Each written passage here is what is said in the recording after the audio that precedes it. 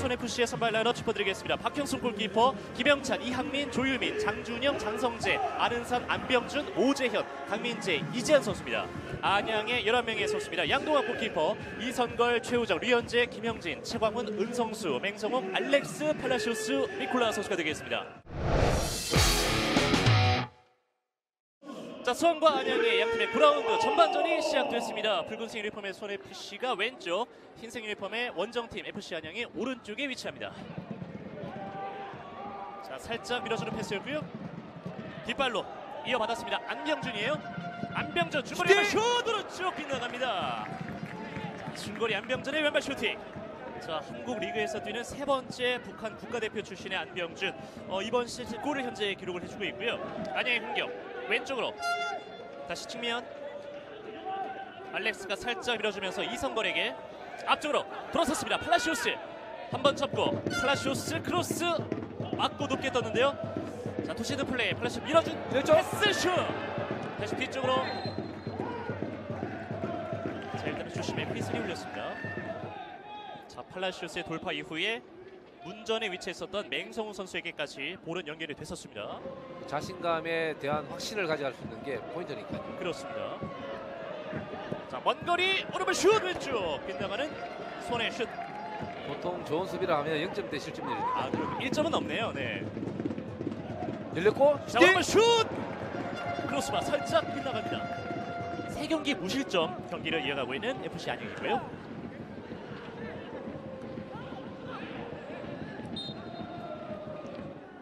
오재현 선수의 타이밍이 약간 늦었죠. 예. 골키퍼 앞쪽을 붙여가지고 이제 하는 플레이를 할 텐데 한번 예. 볼까요? 자, 볼의 방향은 약간 뒤쪽! 뒤쪽으로 왼쪽 지금 위험했죠? 네.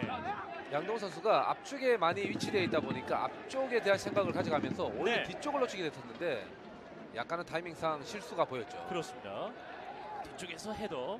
최강훈 선수가 오른발로 올릴 준비를 하고 있고요. 최강훈 올렸습니다. 휘어지면서 어 골대 뒤쪽 살짝 지나치고 맙니다. 바로 이런 장면 때문에 오른발에 위력이 있다고 얘기했던 거죠. 네.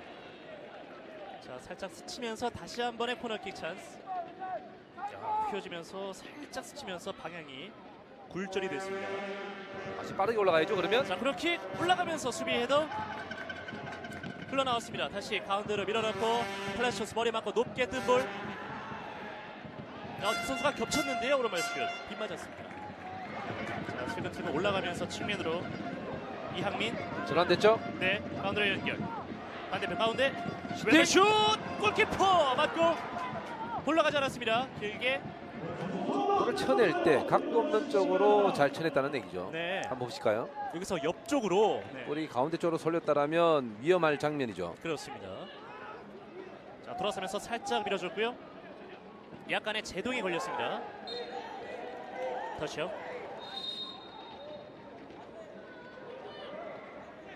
자 김영열 감독이 이성월 선수에게 뭔가 주문을 했고요. 이양민 선수 경고 받았죠. 네, 앞서 이양민 선수의 경고 상황을 보면 아쉬운 부분이죠. 주심에게 어필해서 경고를 받았었는데 네.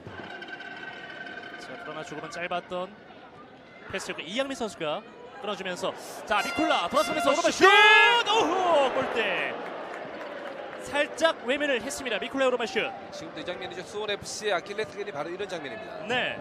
빌드업을 하면서 만드는 건 중요하지만 위험 지역에서의 행패스가 내지는 백패스가 잘리게 되면 예. 바로 이런 장면이 나오게 되는 거죠. 그렇습니다. 여기서 약간의 백패스가 미콜라 선수의 오른발 마무리까지 나왔습니다. 주심 휘슬과 함께 전반전이 마무리가 됐습니다. 자, 팽팽한 분위기 가운데 득점 없이 전반전을 마감 지은 수원과 안양이었습니다. 자, 안양의 김영일 감독이 후반 시작과 동시에 조규성과 구본상 두 명의 선수를 동시에 투입을 하면서 이제 골에 대한 욕심을 서서히 드러내고 있습니다. 자, 등번호 7번을 달고 있는 김병호 선수도 후반 시작과 동시에 투입이 됐습니다. 이제 양팀 진영을 바꾸면서 안양이 왼쪽, 수원이 오른쪽에 위치하겠습니다. 앞쪽에는 이선걸의 마크 좁히면서 들어옵니다. 뒤쪽으로 살짝 수원의 공격. 슛! 골키퍼 정면 펀칭. 오재현 선수의 오른발 슈팅이었습니다. 안양의 반격 왼쪽 측면에서 이선걸 빠른 돌파 이후에 왼발 크로스 뒤쪽 헤더골 들어갑니다. 안양의 선제골 그 주인공은 조규성이 기록합니다. 후반전에 교체 투입돼 들어왔던 조규성의 머리에서 안양의 첫 번째 골이 나왔습니다.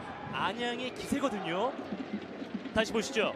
왼쪽에서 이선걸의 크로스 올라왔고 끝까지 머리를 갖다 대면서 조규성이 시즌 2호 골을 기록했습니다. 이게 골키퍼 뒤쪽으로 넘어오는 볼을 머리를 갖다 댄 거니까 박형순 골키퍼도 어쩔 수가 없었던 것 같아요. 그렇죠. 조규성의 움직임 좋았던 게 첫 동작은 뒤쪽이 아니고 먼저 앞쪽으로 원모션을 두고서 뒤쪽으로 돌아갔단 말이에요. 예, 후반전 52분 조규성의 선취골. 아 이렇게 되면 마음이 급해질 수밖에 없는 수원의 입장인데요. 좋았죠. 휘어지면서 헤더 골키퍼 막아냅니다. 양동원 골키퍼. 엇박자 점프가 상당히 좋았고요. 네. 자 다시 한번 조규성 머리 툭 치면서 슛. 자, 왼쪽에 살짝 빗나가는 슈팅 장면이었습니다. 자 여기서 왼발 올렸고요. 이게 머리에 살짝 맞으면서 채공 시간이 살짝 길었는데요. 약간 엇박자였기 때문에 네. 양동훈 선수의 그 기다리면서 따라가는 움직임이 상당히 좋았죠. 그렇습니다. 자 측면 김병호의 돌파 크로스 뒤쪽에 자 그러나 동희 선수 받아주는 선수가 없었고요. 길게 앞쪽으로 하프라인 근처 자 머리 갖다 댄 이후에 들어갑니다. 박스 안쪽 한번 접으면서 알렉스 알렉스의 선택 살짝 늦었고 조계성 슛 들어갑니다 골 조계성 오늘 멀티골 시즌 3호 골입니다. 역습의 정석을 보여주고 있는 안양이죠. 네. 이보다 완벽할 수 없는 그런 골 장면. 야, 김영일 감독이 조기성 선수를 살포시 안아주는 모습. 오늘 시즌 두 번째, 세 번째 골 맛을 보고 있는 조규성입니다. 자, 다시 볼까요? 보시면 여기서 알렉스 머리로 툭 갖다 댄 이후에 굉장히 빠른 스피드를 활용을 하면서 이때 승부가 괜찮았었는데 네. 또 돌려주죠. 아하, 여기서 조규성의 돌파와 알렉스가 잘 봤습니다. 또 조기성의 움직임도 상당히 좋았었고 네. 만약에 공격에 대한 생각, 득점에 대한 생각이 없었더라면 이런 스피드가 나올 수가 없는 거죠. 네. 자, 오늘 완벽히 조규성의 날로 거듭나고 있습니다. 조규성의 두 골로 스코어 2대 0으로 앞서가고 있는 FC 안양입니다. 자, 수원의 크로스! 뒤쪽 떨어지는 볼 오른발 슛 높게 떴습니다. 아, 그러나 잡아내 보이는 양동원 골키퍼.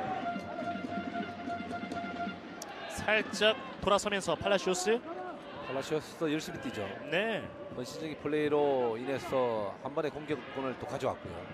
크로스 올라갑니다. 자 조규성! 가슴으로 받고 조규성 뒤쪽 팔라시오스 한번 밀면서 크로스 중간에 수비에게 걸렸습니다. 흘러나온 볼. 아, 지금도 수원 위험했어요. 자 치솜 선수가 투입이 됩니다. 수원 김대희 감독이 이제 마지막 세 번째 선수를 치솜을 선택을 했습니다. 안양의 반격. 전방 왼쪽에 조기성 오른쪽에 팔라시오스. 야 이게 연결이 되는군요. 박스 안쪽에서 팔라시오스 뒤쪽에서 수비 태클. 볼만 건드리면서 오른쪽 코너킥 이어집니다. 안양. 속도는 내어줬지만 마지막 태클이 일품이었네요. 예. 장준영의 태클이었고요. 끝까지 버텨주면서 가운데는 네 명의 선수가 두터운 벽을 만드는 안양이고요. 예. 볼을 띄웠습니다. 들어갔습니다. 손에푸시의 만의 골. 아 지금은 선수와 움직임이 상당히 좋았고요. 네, 네 명의 선수가 있었지만 한 명의 움직임이 빛났습니다. 그렇습니다. 안병준의 시즌 세 번째 골은 오늘 경기 추격하는 만의 골이었습니다. 아, 충분히 지금부터죠. 네. 자, 치솜의 크로스 안병준의 헤더골이었습니다. 시섬에 약간은 뭐 거부정한 뭐 크로스였지만 네. 정확하게 날아갔습니다. 안명준 움직임이 상당히 좋았죠. 예. 네 명의 선수 사이에서 움직이면서 득점을 만들어냈습니다. 그렇습니다. 저희 안병준의 만회골로 어, 현재 스코어 2대1 이제 한 골 차 승부고요. 어 경고가 아 지금 빨간 레드 카드가 나옵니다. 자 일단은 이선걸 선수가 넘어져 있는 상황에서 아, 전반전에 경고가 한 장 있었던 이학민 선수가 이선걸 선수의 충돌에서 어, 퇴장을 결국에 받고 말았습니다. 아 조금은 깊었고 좀 높았네요. 한 골을 뒤지는 수원이 한 명이 수적 열세에 빠져 있습니다. 동점골이 필요한 공격 쪽에서의 무게감이 좀 필요했던 수원이었는데 선수 한 명이 비게 됐거든요 지금. 추격의 그 발판을 만들었던 뭐 골이었잖아요. 예, 아쉬운 장면입니다. 그렇습니다. 게다가 안양이 지난 8라운드 대전과의 헤더! 어, 헤더! 살짝 뜨고 마는 김병호의 헤더였습니다. 지금은 좋은 움직임과 선택이었었는데 네, 이 들어갔더라면 뭐 양동 선수는 꼼짝없이 당할 수밖에 없는 헤더였죠. 그렇죠. 다시 팔라시오스. 가운데에서 안양의 슈팅 타이밍 가운데에서 알렉스 이어받고요. 반대편 벌려줍니다. 왼발 슛 골키퍼.